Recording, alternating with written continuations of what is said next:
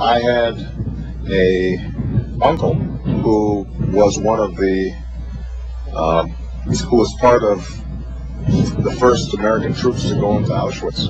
On this Memorial Day, as our nation honors its unbroken line of fallen heroes, and I see many of them in, in the audience here today. All this stuff about how different Barack Obama is. They're just not used to somebody really smart. They're just not used to somebody who's really well educated. Uh, I've now been in 57 states. I think one left to go. You can call my hotline, which is 1 888 NC Early. NC Early, E A R E uh, E A R L Y. In Delaware, the largest growth in population is Indian Americans moving from India. You cannot go to a 7-Eleven or a Dunkin' Donuts unless you have a slight Indian accent. To fully, I'm not joking. A man who will be the next president of the United States, Barack America. Everybody knows that it makes no sense that you send a kid to the emergency room for a treatable illness like asthma. They end up taking up a hospital bed. It costs when if you they just gave you gave them treatment early, and they got some treatment and a, a breathalyzer or an inhalator, not a breathalyzer.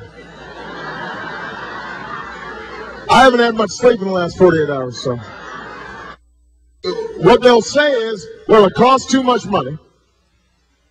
But you know what? It would cost about it, it, it would cost about the same as what we would spend it, over the course of 10 years. It would cost what it would cost us. All right. Okay. We're going to. It would cost us about the same as it would cost for about, hold on one second, I can't hear myself. So let me introduce to you the next president, the next vice president. People ask me, they say, well, what, what are your impressions of America? What, what have you learned since being president or being a candidate for president? It should be the banks taking.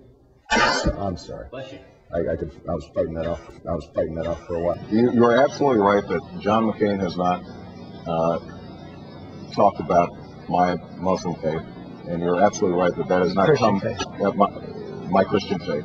But, but that's that was true for the. Let's get back to the tax the rich. But but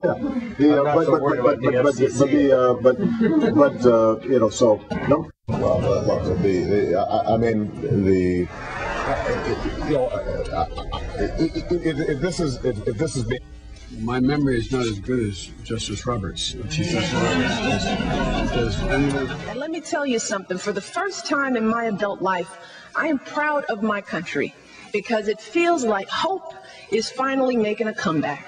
I'm proud of my country. I don't know about you if you heard those words earlier. I'm very proud of my country. The Illinois State Rifle Association says President-elect Obama's transition team is weeding out job applicants who own firearms. I believe in common sense uh, gun safety laws, and I believe in the Second Amendment. Uh, and so uh, lawful gun owners have nothing to fear. There you go again. I think that the Second Amendment uh, means something. Uh, I think that if the government were to confiscate everybody's guns uh, unilaterally, that I think that would be subject to constitutional challenge. But just because you have an individual right does not mean that the state or local government can't constrain the exercise of that right. You know, I wasn't going to say this at all, but I can't help it. There you go again. But aren't you embarrassed by the blatant attempts to register phony voters by Acorn, an organization that Barack Obama has been tied to in the past? I am not embarrassed by it. We are not tied to it. We've not paid them one single penny to register a single solitary voter. Ah, I say it ain't so, Joe. There you'll go again, pointing backwards again, though. You prefaced your whole comment with the Bush administration. Now, doggone it, let's look ahead. At what point does a baby get human rights, in your view? Well, you know, I, I think that whether you're looking at it from a theological perspective or a scientific perspective. Uh, answering that question with specificity uh, you know, is is uh, above my pay grade. Uh, but, but, but, but, but, let me s- l- l- let me let me just speak more generally about the issue of abortion because this is something I uh, obviously the country wrestles with. One thing that I'm absolutely convinced of is that there is a moral and ethical element to this issue. And so I, I think anybody who tries to deny the moral difficulties and gravity of the abortion issue, I think, is, is not paying attention. So, so, so, so that'd be point number one. But point number two, uh, I am I am pro-choice. I believe in Roe versus Wade, and, and I, I come to that conclusion not because I'm pro-abortion, but because ultimately I don't think women make these decisions casually. I think they they wrestle with these things in profound ways, in consultation with their pastors or their uh, spouses or their, their, doctors and their family members. Um, and so for me, the goal right now should be, and this is where I think we can find common ground.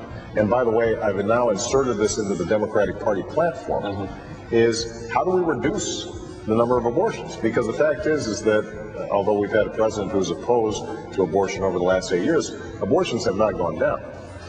And, Have and, you and that I think is something that we have, Have to you ask. ever? Uh, what point is a baby entitled to human rights? At the moment of conception.